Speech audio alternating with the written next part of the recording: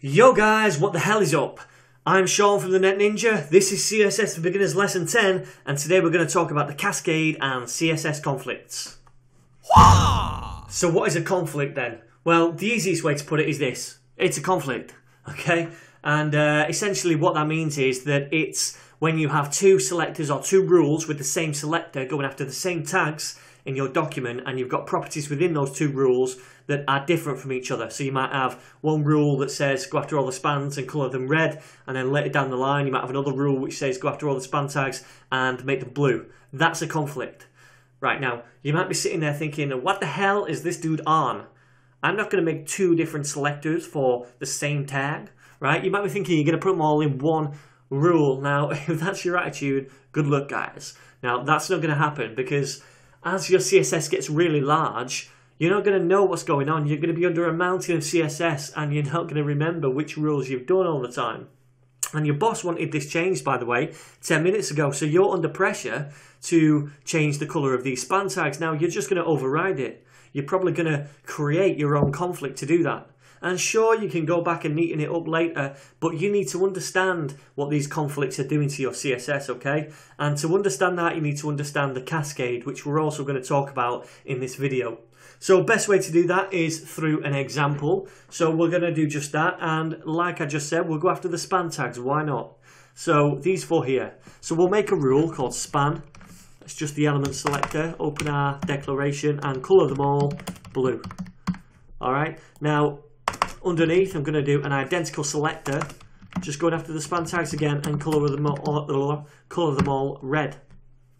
Okay, now what do you think is going to happen here? Well, this is where the cascade comes in. Now, if I say to you the word cascade, what do you think? I think of the word waterfall, or a picture of waterfall rather. And a waterfall tumbles down from the top, it cascades downwards starts at the cliff or whatever stream at the top, comes down the cliff into the pool at the bottom. And that's exactly what the CSS cascade does. It starts at the top of the document and it reads from top to bottom downwards. Okay, so when we have this CSS file, it comes in when it's loaded and it reads from the top down to the bottom. So it starts here and it says, okay, I've got this span selector here. I'm going to go after all these spans and colour them blue. Then right underneath, it's got this other span tag, uh, sorry, span uh, rule, span selector, and it colours them all red. Okay, so because this is the bottommost rule, it's applied this last, and therefore this one applies.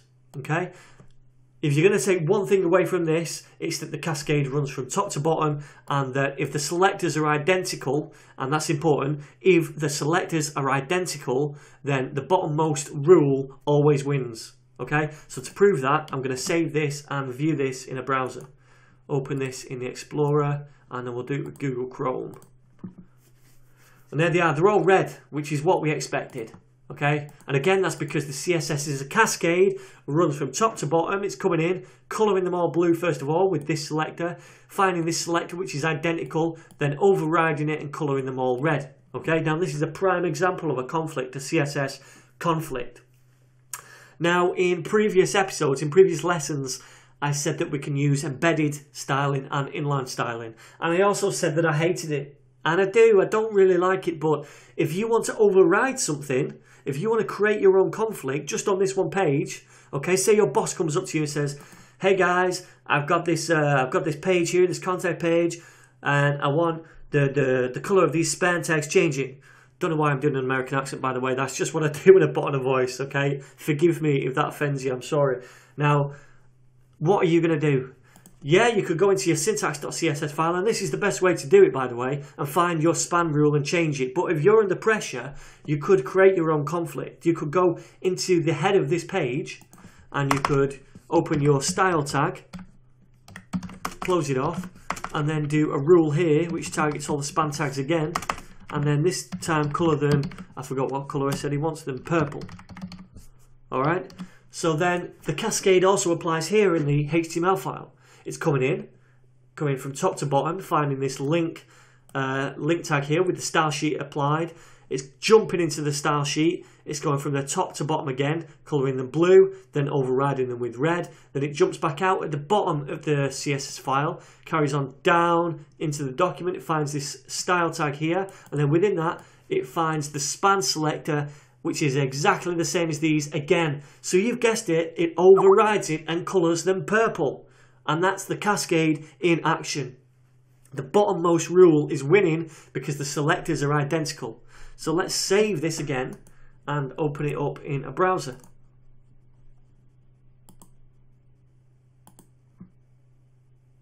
And there it is, okay? We've got our uh, span tags all purple now. So that's how it's working. It's going from top to bottom and applying the bottommost rule. Now, we've also got inline styling.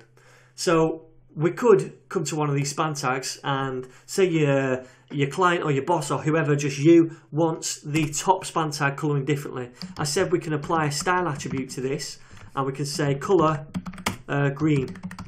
Okay, so what's going to happen here? Well, again, it's coming from top to bottom. The cascade is in action. It's coming from the top into the style sheet.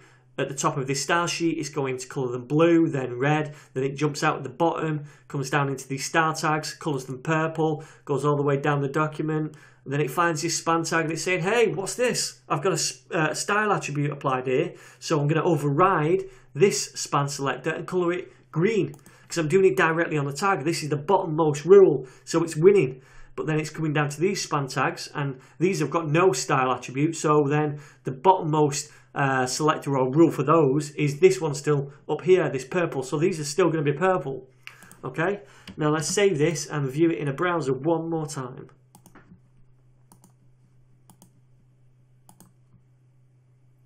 And there we can see that we've got this top one here, green, which we styled inline, and then all these ones are still from the style tag, are coloured purple. So hopefully now you understand a bit more about what the cascade is. Remember it runs from top to bottom always. And what a conflict is, it's when you've got identical selectors. Um, it's not only when you've got identical selectors, by the way. You could have a selector which is more specific. For example, I could say body, span, colour blue, and then this one because it's more specific, um, this one would still apply. We're not going to get into that now, but if your selectors are all um, are all identical, then the bottommost selector, which is identical, always wins. That always applies. Okay, so hopefully now you understand what conflicts are too. Like always, if you've got any questions, feel free to comment below and I'll answer all of those. Please, please subscribe or like these videos if you enjoy them.